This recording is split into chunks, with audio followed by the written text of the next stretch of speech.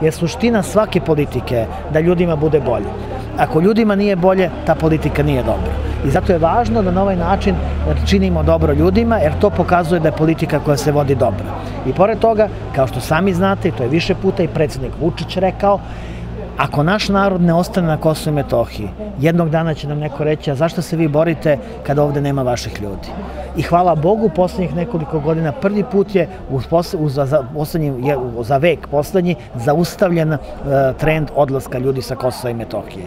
A da bi ljudi ostajali ovde, moramo da obezbedimo da ljudima bude bolje.